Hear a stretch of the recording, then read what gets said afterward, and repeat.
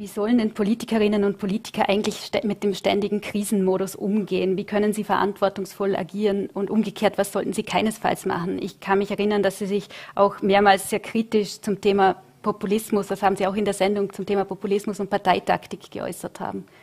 Ja, ich glaube eben, dass äh, Krisen nicht der Zeitpunkt sind für populistische Maßnahmen und dafür, dass man zuerst auf die Umfragen schaut. In diesen Phasen, wo es um die Krisen geht, äh, da muss man zusammenhalten und da muss man auf die Interessen der Bürgerinnen und Bürger schauen.